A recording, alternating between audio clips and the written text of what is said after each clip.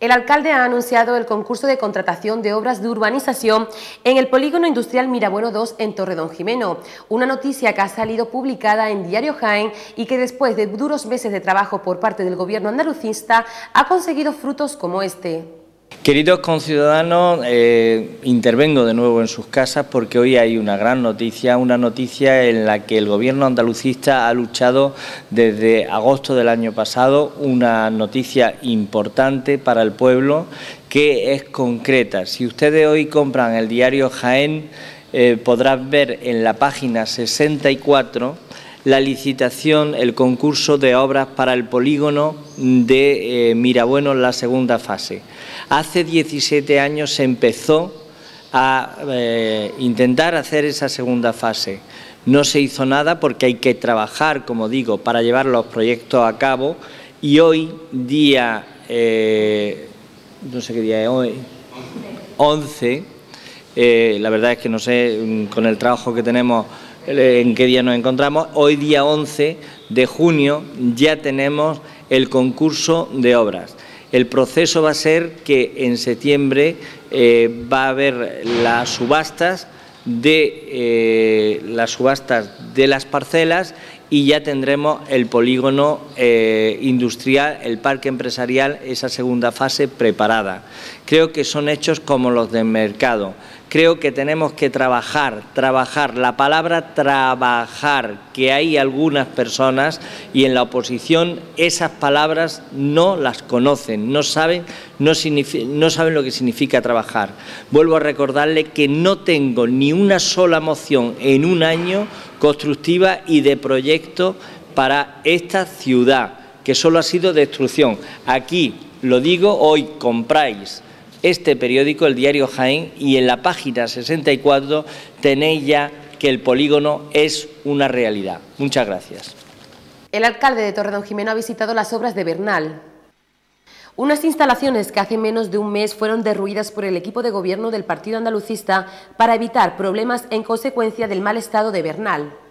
Bueno, eh, creo que tenéis imágenes de lo que era este lugar antes de que se iniciara el, proceso de actuación sobre eh, Bernal, que estaba abandonado, que estaba en peligro, eh, que podía en cualquier momento pues atropellar, causar accidentes a personas que trabajan aquí.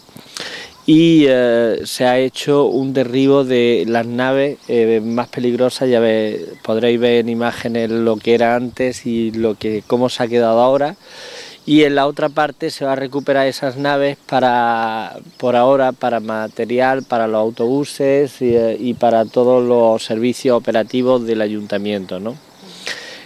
además de esta explanada que por ahora se va a quedar así, se va a restaurar la torre la, chimenea y se va a iluminar, ¿no? Es una cosa pues que está protegida y, queremos que se quede un jardín alrededor para que desde la autovía y, bueno y para todo eh, lo que es el entorno de la, iglesia de los santos, la ermita de los santos, quede un entorno pues, agradable, ¿no?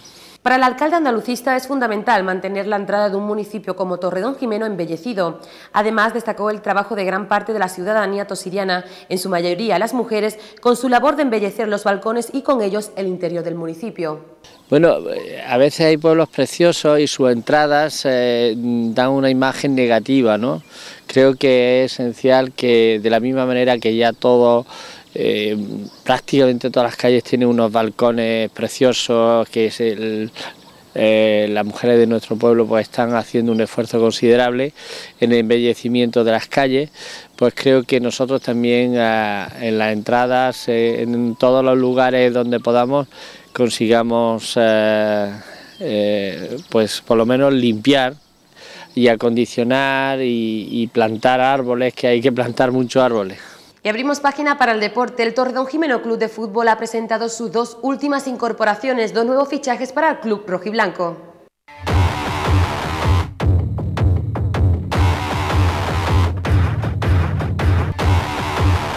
Bueno, como todas las noches, espero que, que haga tanta, haya tantos goles como presentaciones. para conseguir esos buenos objetivos que se ha fijado la, Junta Directiva. ¿no? Eh, agradecerle a todos los que estáis aquí, a los medios de comunicación eh, y desear pues que este, este nuevo fichaje pues, alegre a la afición. Andrés Valero es un portero con experiencia en la categoría que viene al Torredón Jimeno, con la idea de sacarse una espina que tiene clavada. La temporada pasada ya intentamos incorporarlo a la plantilla, pero no fue posible por problemas personales. Este año lo hemos conseguido y estamos esperanzados en que pueda cumplir sobre el terreno de juego las buenas referencias que poseemos de él. Tiene calidad y carácter, según me comunica la Comisión Deportiva, aspectos fundamentales para triunfar en una categoría tan difícil como la tercera división. Como todos los jugadores que hemos presentado, Andrés, te doy la bienvenida en este club y al mismo tiempo te pido que trabajes con honradez, con sinceridad y que sientas estos colores representando a un pueblo que vive, quizás uno de los pueblos que vive más apegado al fútbol de toda la provincia de Jaén. Te recibimos con los brazos abiertos y esperamos lo mejor de ti. Mucha suerte. Muchas gracias.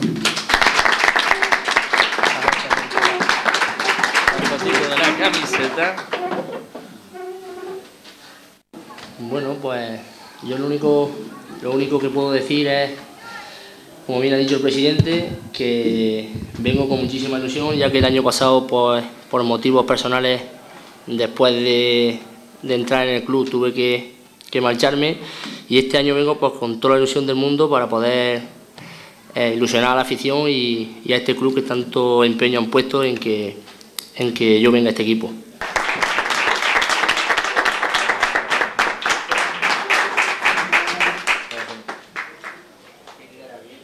Pues nada, yo creo que como todo el mundo que llega a un sitio nuevo, vengo con mucha ilusión, con muchas ganas de trabajar. Sé que es un equipo de los más grandes que hay en tercera y eso me ha, hecho venir aquí. Lo único que puedo prometer es que voy a trabajar mucho, me caracterizo por eso y que voy a ser muy serio en, en mi trabajo. Que espero que me salgan bien las cosas, igual que el resto del equipo, y que todos juntos pues llevemos al Torrejimeno lo más alto posible en esta temporada.